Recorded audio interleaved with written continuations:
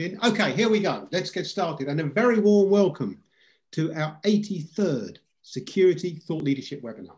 And we've been here every Tuesday and Thursday uh, at this time, although stand by for a variation next week, uh, examining a topic of central importance to the security world. And the idea of thought leadership is that we critique today what's going on in order that we get a better type of security tomorrow.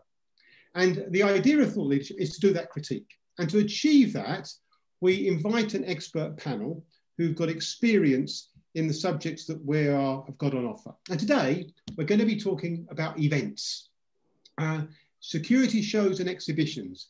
Uh, how will they evolve in 2021? On the one hand, we've been getting used in some form or other to the virtual. What does that tell us about what's coming when security events go physical?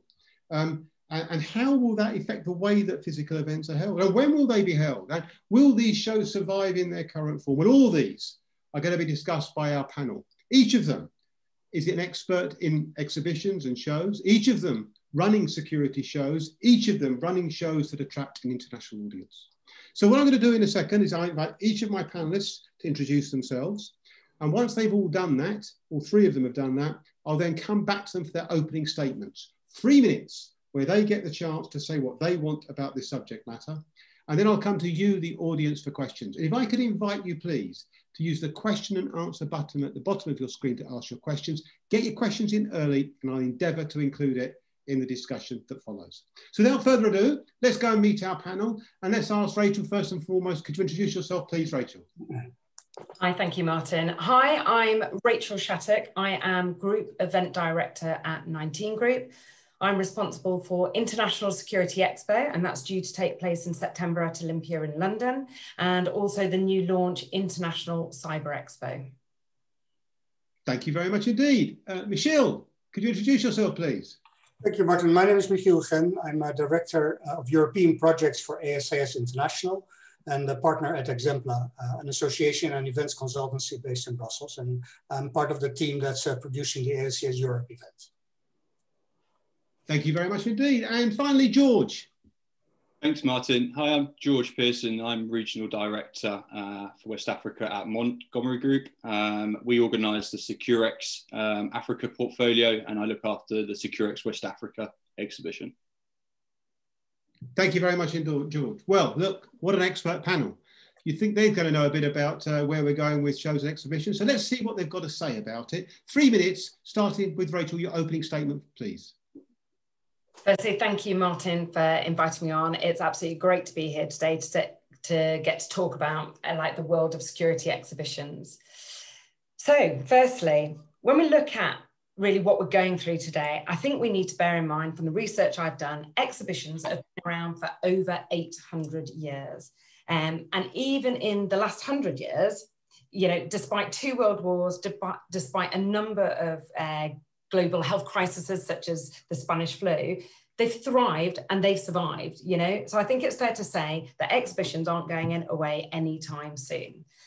But that said, I think we need to acknowledge that the world is very much a different place to what it was pre-2020. So much has happened. And as the world new as the world adapts to like a new normal, I think so must the exhibitions industry. I think unfortunately for us, the guys that work within this industry, um, you know, this virus is spread via human contact. So it's inevitable that the exhibition industry is one of the hardest impacted industries globally.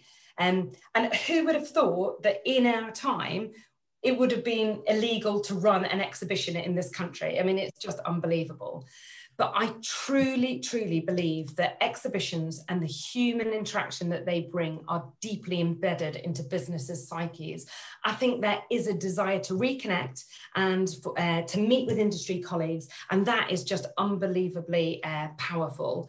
And in the same way, last night I was uh, looking to book a summer holiday. I think there is real pent up desire to be back to business as usual. I think within the exhibitions industry itself, I believe that the security sector is one of the most resilient. Um, and it's as important today, if not more so, than it was uh, a year ago. Um, at 19 Group, uh, we haven't run an event in over a year.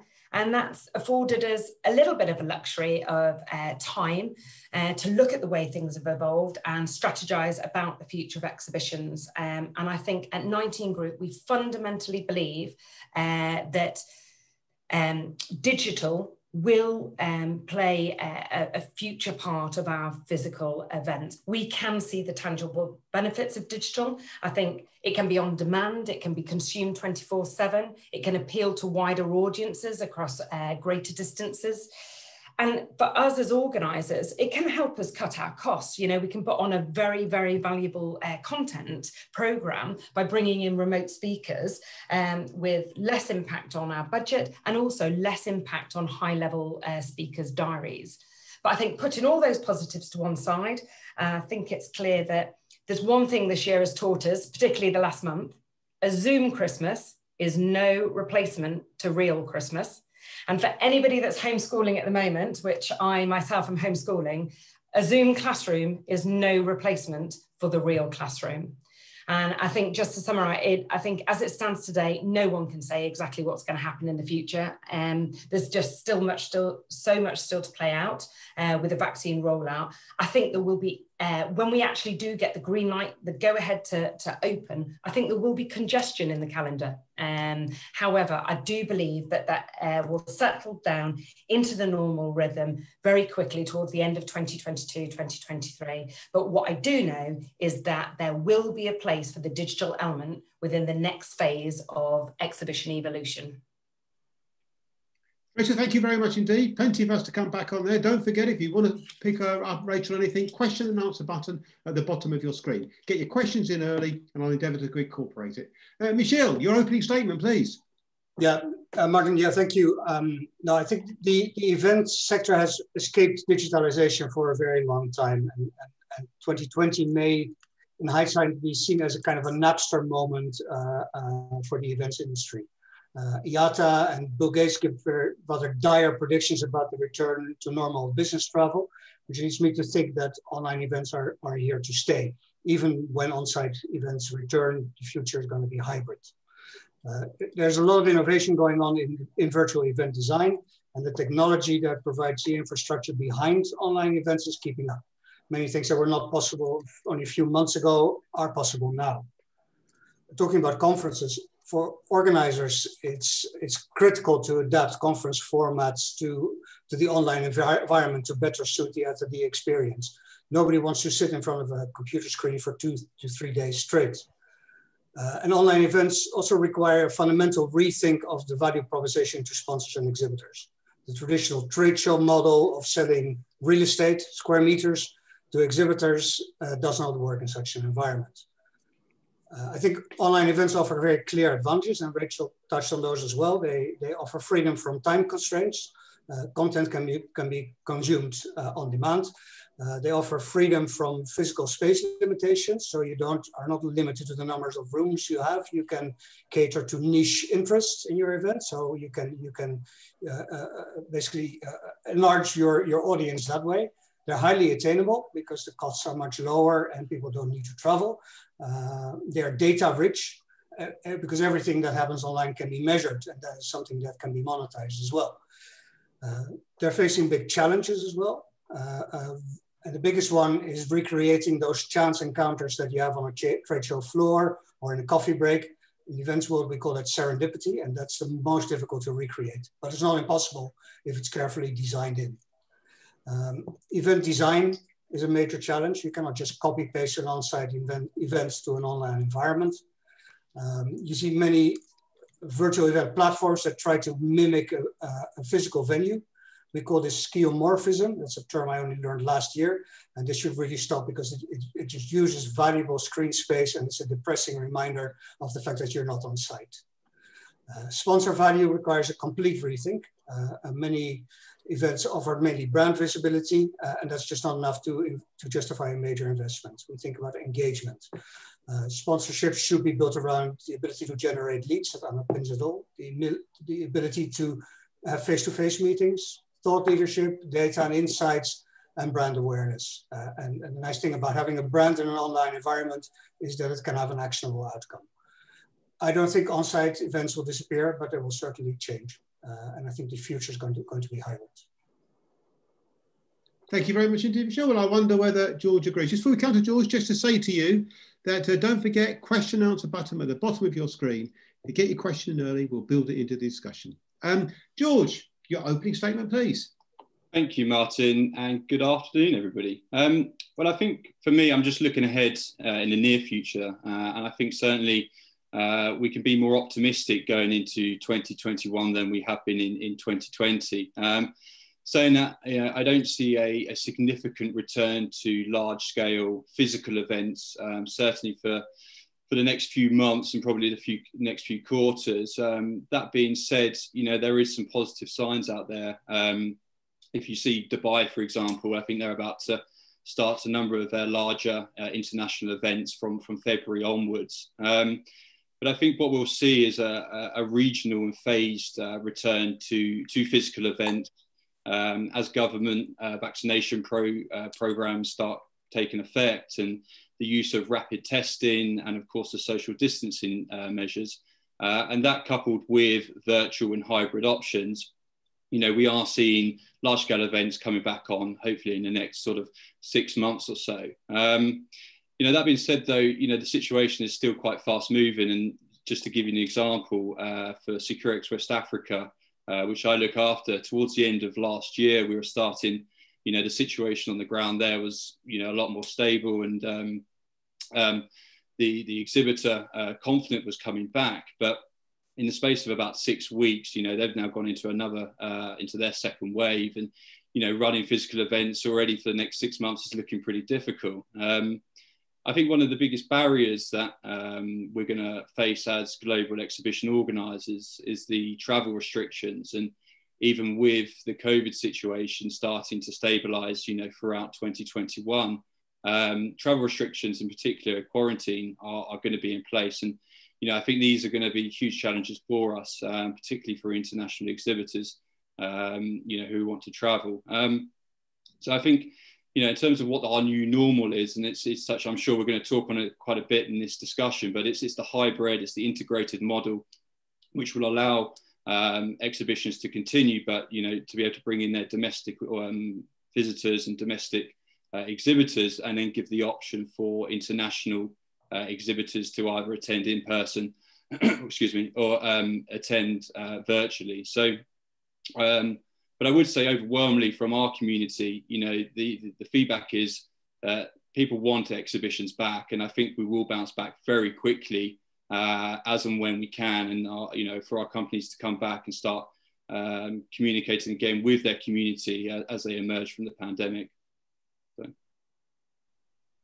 Thank you, George. Appreciate it. Okay, very, very good. Okay, questions flowing in. Uh, let's go to, straight to, to Rachael. And Noah Price is picking up on this issue of this combination of virtual and physical, Rachael. Now, um, it's an easy thing to say, but when I go to a physical event, how am I going to benefit from virtual? Some virtual presentation from somewhere else because I could get that online. Am I really going to be attracted to that, Rachael? And uh, um, uh, likewise, uh, uh, where does that leave exhibitors that can't be there? Surely this hybrid is a bit of a is a bit of a bit of a difficult one to make happen meaningfully. Rachael, then then Michelle. No, I absolutely. I you know both um, panelists have, have touched on this. I don't think you know what you get from a physical exhibition the networking the meeting peers to peers in the uh, in the aisles is very diff- difficult to recreate uh, virtually however the hybrid model will allow remote international speakers, remote uh, international visitors to come. And uh, George is very much right. There are, even if the UK has rolled out their uh, vaccination program, uh, one of the first in the world to roll out, there will be many countries still um, under travel restrictions, even if the UK opens up. So absolutely, um, that hybrid, it will be essential to bring the international audience in.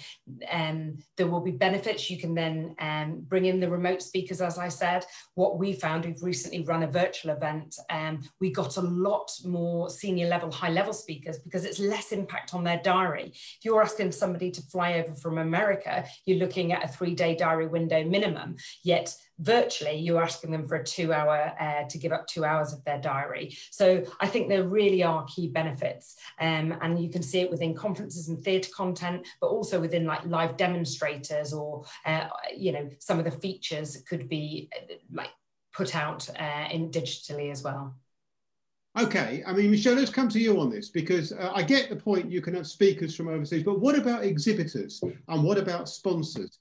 It's far from obvious to me that that's a good option digitally. Michelle. Well, Martin, perhaps first I could I could I could get into the question of, of what hybrid events uh, uh, can be to to uh, to offer value to both on-site and online attendees because I think that's a very important question and there are new models out there that can do that. Uh, hybrid doesn't necessarily mean that you live stream what's happening uh, on site to an online environment. You can detach it. Uh, it's it's and that way all attendees can benefit from the value that's offered. Uh, um, and from the organizer's perspective, it's, it's much easier uh, to, to deliver because you don't have uh, such, it's not as heavy on the, on the staff requirements uh, as, as it is to, to deliver simultaneously. Okay, okay, so, so got that, fair enough. What about, exhi what about exhibitors and sponsors? So you see, the thing is, Michelle, I get the point that this can work for bringing in live demonstration. I, people from all over the world, I get that. But what about the experience for exhibitors and sponsors? Because ultimately, ultimately, ultimately, they pay their salary, they pay the wages. Yeah, again, uh, simultaneous is, is, difficult, although it can be done. Uh, if you think, for example, uh, an exhibitor might have a smaller booth, uh, but then you have an, an, online presence that becomes a kind of a, a, traffic driver to that to that booth. It's it's we're, we're more looking into the detached model than the simultaneous model. Uh, uh, and I think there, there, are, there are tremendous benefits that can be brought to, to sponsor and exhibitors there, but we have to let go of the traditional concept of a virtual booth uh, and de-emphasize that and really look at lead generation, face-to-face meetings, positioning as, as thought leaders, so credible but sponsored content, uh, providing data and insights to the exhibitors, and that uh, uh, uh, of course, has to be done in conformity with all applicable privacy laws, um, and looking at, at brand awareness that actually and branding that actually brings value to, to those exhibitors. Okay, let me ask you the same question, George, because it builds on uh, um, something that uh, Noah Price has asked about. How can we, how confident are you this hybrid is going to be good for business in terms of sponsors and exhibitors? But I think with the hybrid model, you know, there is no one size that fits all. And, and certainly, you know, from my experience working in the West African region, it's a very different, they're very different uh, model to what perhaps you're working with in the UK. Um, you know, we've looked at the hybrid model uh, and actually felt that we can, well, we prefer to call it actually an integrated model because there's certain parts that you can bring in, certain parts that you can't, you know, depending on which region you're working in. Um, but we kind of see from a, a hybrid model, um, it, it's more from the conference side. We're not necessarily necessarily seeing the virtual exhibition booth being a viable option for us moving forward.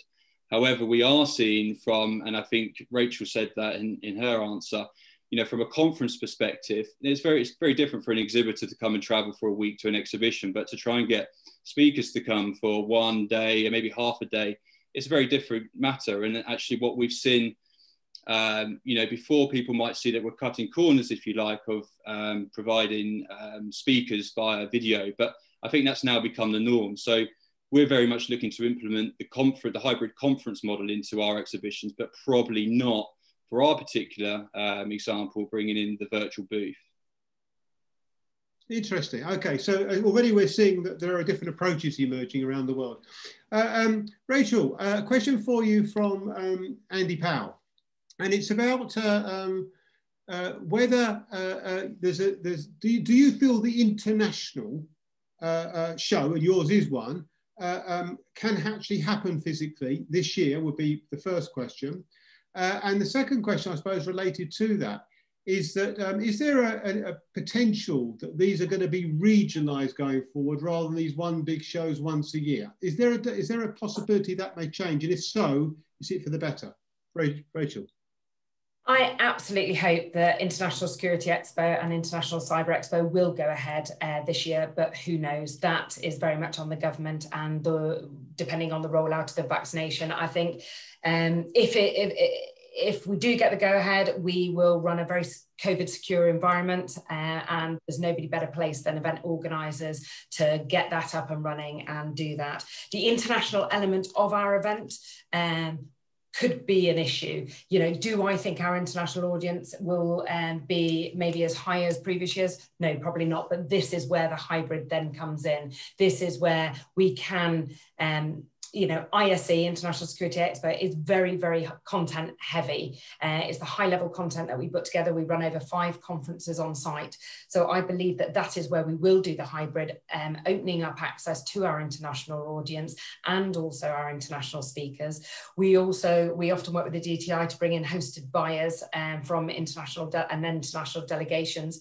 You know, there's models out there there you can do um, matchmaking and um, so's like on virtual environment in a virtual environment.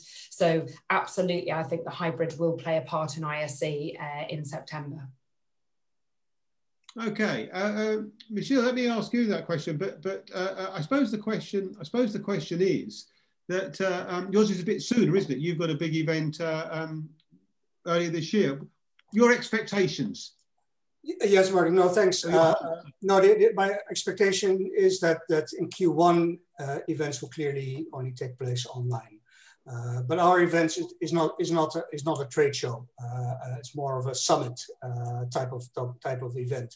So we're hoping, of course, that depending on format, size, travel requirements, the speed of the vaccination rollout, at least some physical events may be possible in Europe sometime in Q2.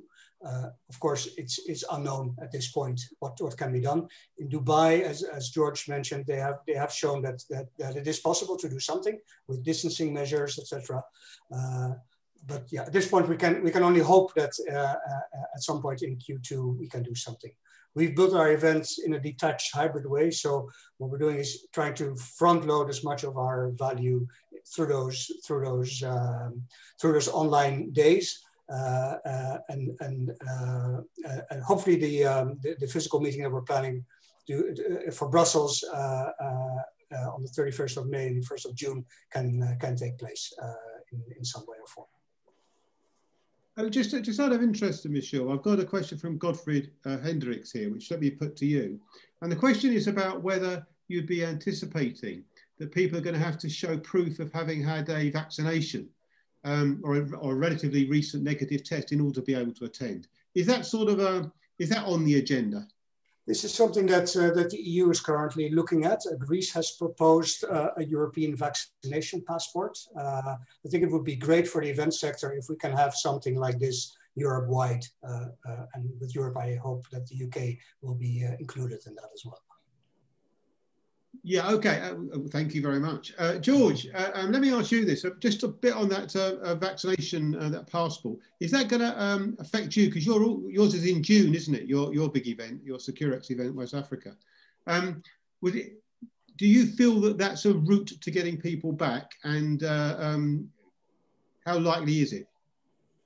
Yeah, I mean, yeah, we've got uh, Securex West Africa. We normally run it in March. We made a decision last year to move it to June, hoping at that time, you know, that stage we were going to be more and out of the water. And clearly, you know, we're not quite there yet. Um, yeah, from a vaccination perspective, I mean, we've, we've talked about it internally, and you know, the the risks we've got to look at, or the, the challenges we're looking at, is you know, will our international exhibitors attend? Is one, and and will local audience attend? And you know, I think being realistic um, for Nigeria to have any um, reasonable um, uh, vaccination program by by June is, is not going to be possible. But I think you know one thing we have considered is that our international exhibitors may have had their vaccinations by then. Um, but I think you know we're still going to be in a position where there'll be a quarantine measure in place in Nigeria for some time to come. So I think that's sort of our, our biggest threat, if you like, um, rather than it being the vaccine.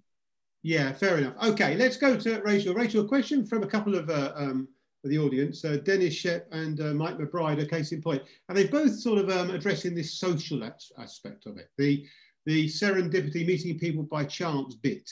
And uh, I know that, and I'll come to Michelle afterwards, I know that this is a, a biggie, isn't it? The one thing you don't get when you've got this online, which you do get, is that bumping into people yeah. in the cafe, in the by the yeah. booth, and, uh, um, and going in and out in the. queue. How do you get that?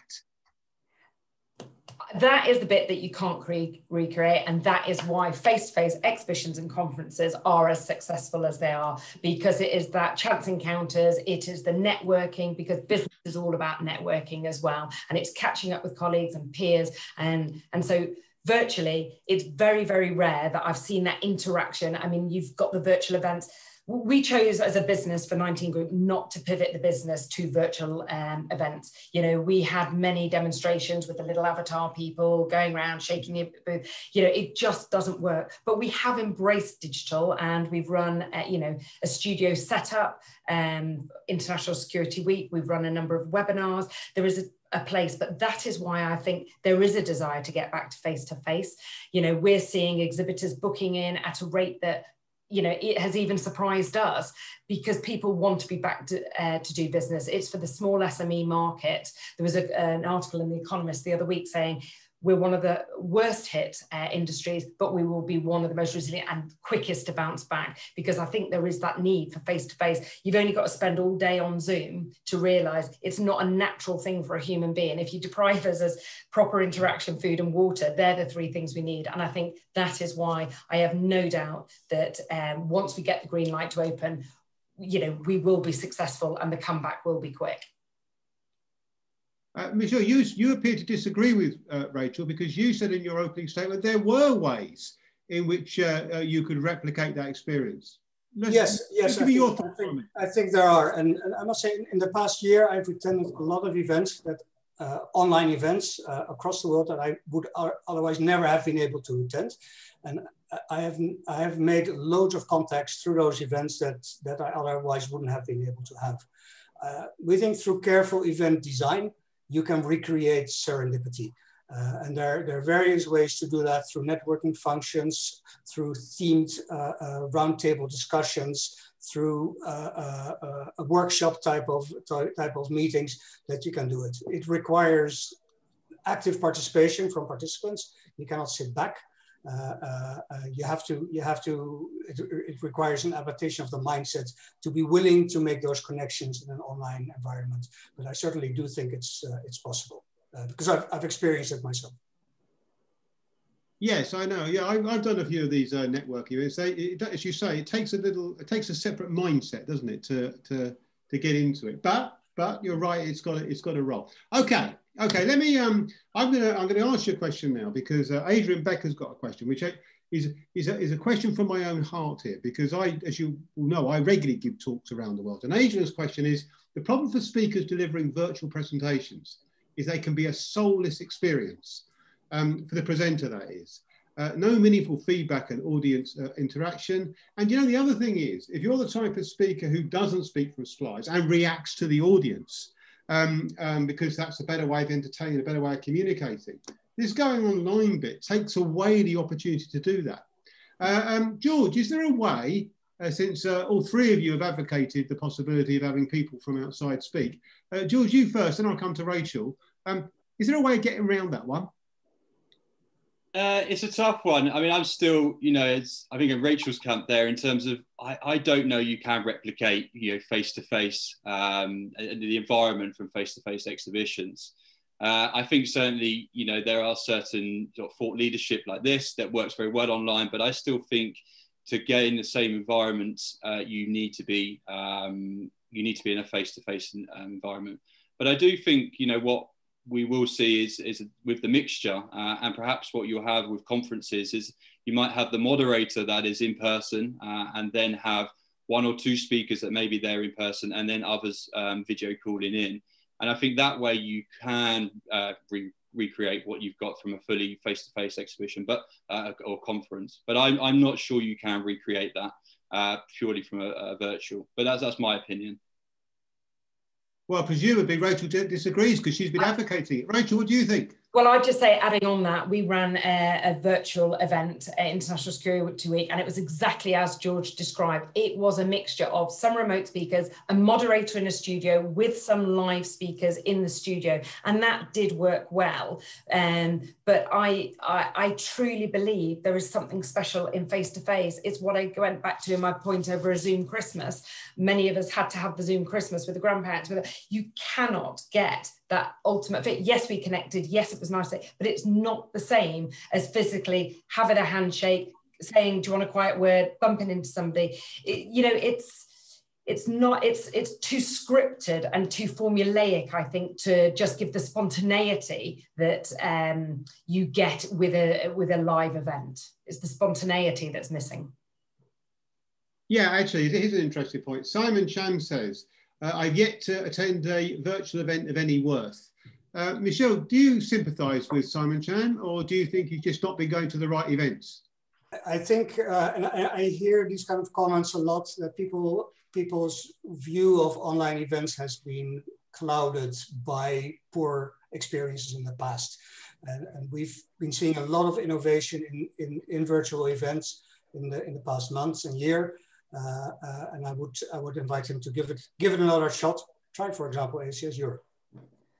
I, I would I would just say on I think the um, the level of content that you can get, the value of the content in virtual events is often, you know, higher level because you can bring in experts on with less diary time, and so you they are more inclined to give up that time because it is a smaller uh, uh, time. So I think often it, it is, and I know I've attended more events virtually than I would in person because again, it, it's less less time. So th- there are value in both.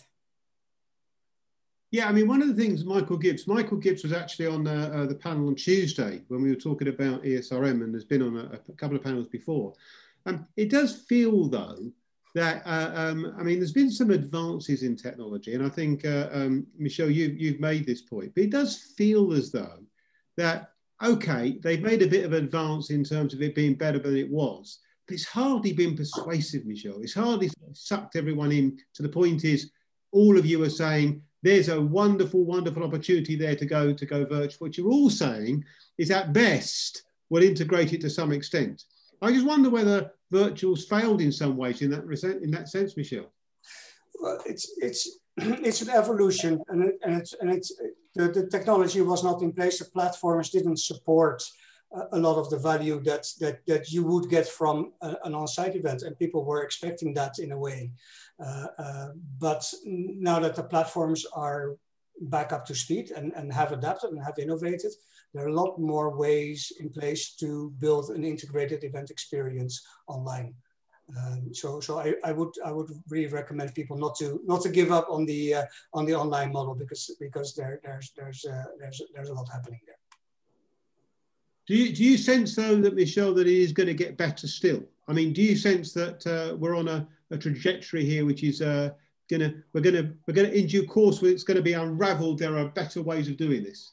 I think so, and I think we're working on one uh, for for the ASIS Europe event that uh, that really tries to bring all these event pillars uh, uh, in, in, in an online environment.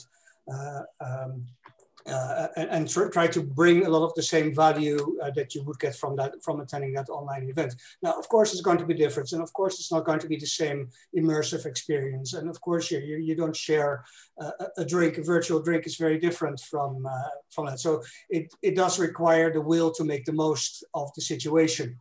Uh, uh, but but then again, there are clear advantages to it because if you if you look at the the, the free the, the, the, the, the freedom that you now have from time constraints is that you can create an event that doesn't doesn't last two or three days, but the event that we create is basically four months. So people can come back there, they can network, they can connect, they can consume content, they can connect with, with the sponsors and exhibitors there. Uh, a lot of the content once delivered becomes on-demand content. Uh, the content that we deliver live is going to be a very heavy focus on interaction and debate uh, uh, uh and not a one-way type of traffic. Uh, so that's, that, that's, that's just an idea of what we, what we, what we, what we're working on. Yeah, okay. Sounds uh, sounds quite dynamic. George, I mean, uh, one of the issues that uh, uh you have is you organise. You mean people organise their events in different parts of the world here. Uh, yours is in Africa, George, and uh, um, the situation in, in in Nigeria, of course, as you were saying in your talk, is quite unstable, isn't it? I mean, it's um, they're, they're, suffering immeasurably at the moment. not all African countries are, but but Nigeria is at, at the time. Um, are you are you geared up for the fact that it might not happen in June physically, George? And are you geared up for the fact that some form of what do you call it, integrated model is possible in June?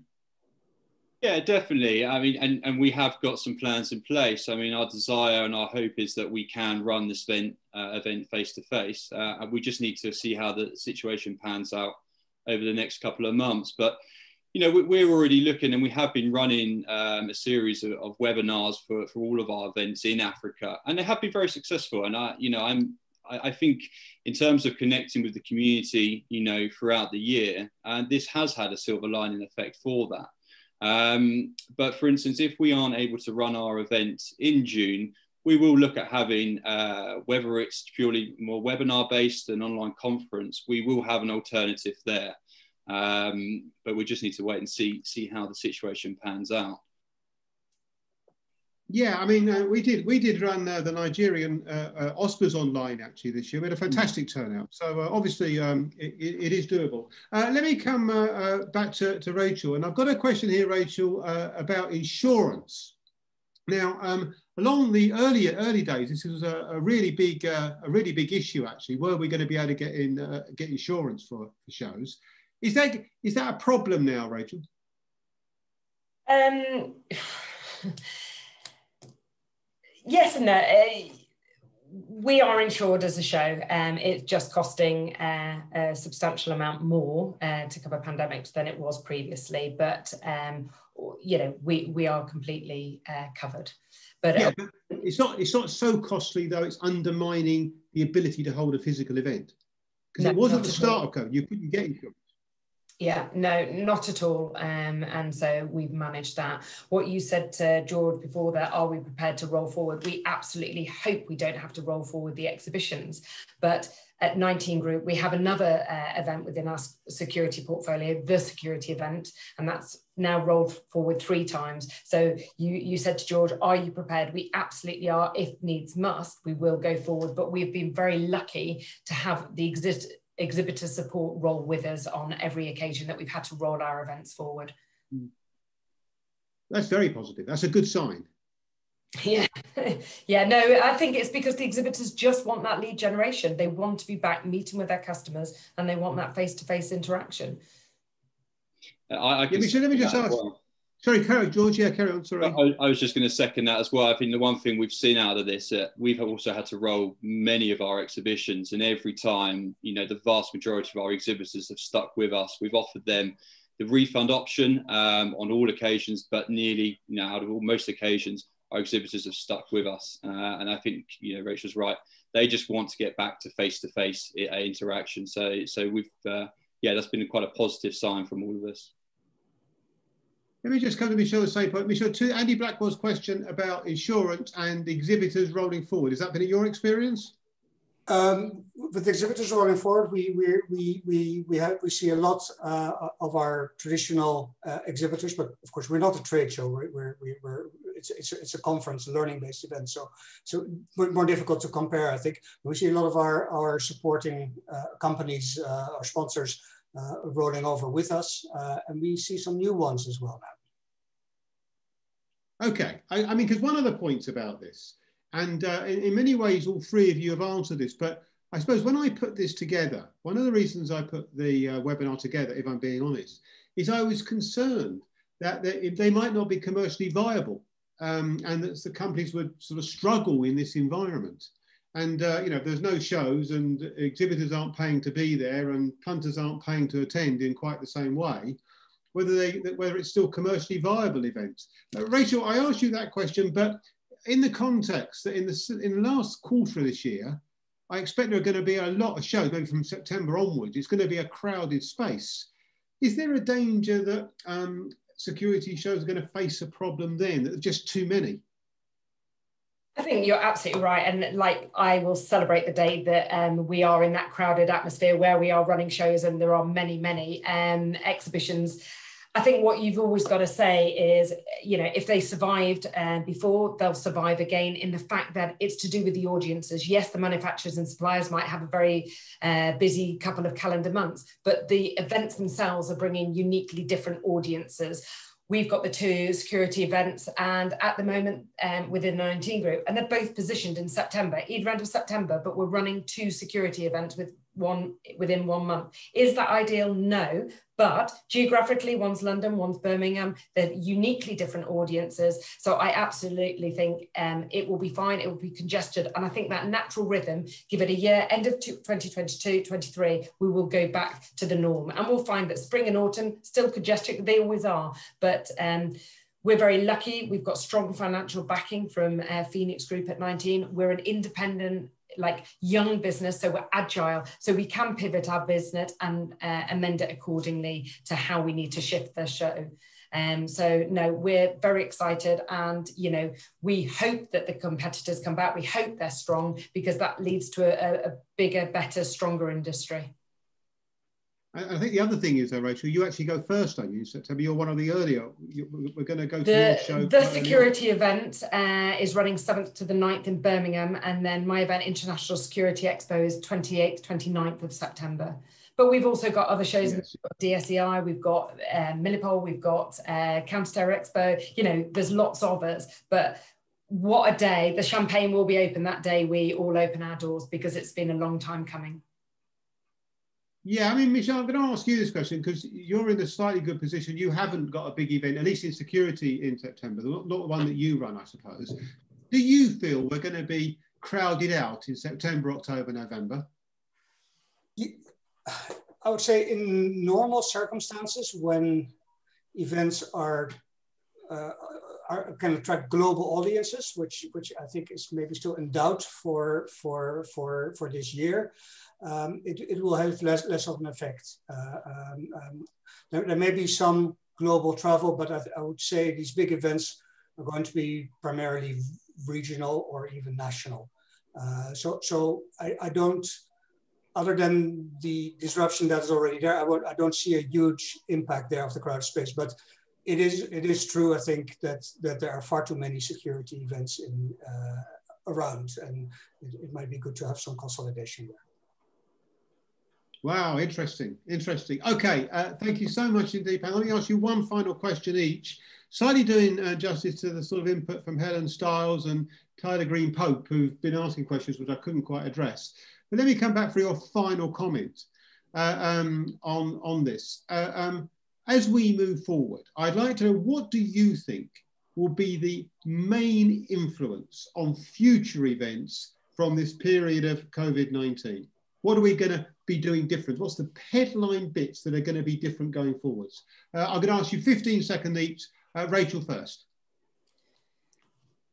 Um, what I think it is the hybrid model. I absolutely think we will embrace digital. Uh, it will become a component key part of our physical events, but the physical element will still be as important as ever. It will just add a certain value to our physical events. It will not replace them. Thank you very much indeed, Michiel. I fully agree with what uh, Rachael is saying. Uh, uh, big future for, for hybrid events. Yeah, yes, uh, uh, physical events will remain important. Uh, I think what you will see is that the different mediums will be used for the way they can provide the, the biggest value to attendees and sponsors and exhibitors. so, so, so, so that, that, that will be a change, I think. Okay, George, finally you. Yeah, well, I think certainly for the next 12 months, the hybrid models uh, will be used. Um, and then I think moving forward, there's a lot that we've learned over the last 12 months, which will then be integrated into uh, our exhibitions and conferences moving forward. But, you know, I do think that in, in a few years' time, when we're back to hopefully a, a normal, normal life, um, you know, the physical face to face exhibitions will be the priority and, and it'll only be a, an element of the uh, hybrid model left, it would go back to physical exhibitions. Okay, thank you very much. Well, panel, thank you very much indeed. Absolutely fascinating debate, many issues raised, and we will return to these. I've got to be honest. Uh, this might just be because I'm old, but I quite like the fact that all three panelists are telling me we're going to have physical events as we knew them before in key elements as we go forward. Um, thank you very much indeed. Just a few final points from me, if I might. Uh, just to say that uh, I've got to encourage you to register for the UK OSPAs 2021. It's the 25th of February, 3.30 in the afternoon. I promise you, you will not have seen an award ceremony quite like this. So please do register. It's free online for the UK OSPAs. Just remind those of you who are in uh, South Africa and Nigeria, entries are still open for the OSPAs. They close in March. Start getting your entries ready. You haven't got much longer. And uh, um, there's a major research project going on on the impact of COVID-19 on security. I'd love to have your views. Please do give us your views um, in an online survey. We'd really appreciate your thoughts on that. Um, and just to say, that we here, we're here every Tuesday and Thursday, as you know, normally at this time, but next week on Tuesday and Thursday, we're at a slightly earlier time. On Tuesday, our topic is the, the state sector in Russia, security in Russia. What's been going on there? There's a hidden little gem. Three panelists from Russia are going to be give us their insights on Russian security. It should be fascinating. 11 a.m. on Tuesday, 11 a.m. UK time. And then on Thursday at 8 a.m. in the morning, we're going out about Southeast Asia, what the normal looks like, the new normal looks like there. Building on a webinar we held last year. Um, it's at 8 a.m. because of course it's much later in the East. Uh, the week after, managing the, the, health of frontline workers, mental health of frontline workers, and the role of GSOCs. That's the week after. So plenty more coming up. Great, uh, uh, great panelists coming up. Thank you very much indeed to you for your time today. Thank you very much indeed to the, to the panel for their insightful insights. Absolutely fantastic. Don't forget a copy of this uh, webinar will be on the website tomorrow, along with a blog that I will write. Thank you to Christine Brooks and Hannah Miller in the background. Uh, hopefully see you next Tuesday, 11 a.m. the webinar on Russia, wherever you are in the world. Until we see you again, stay safe.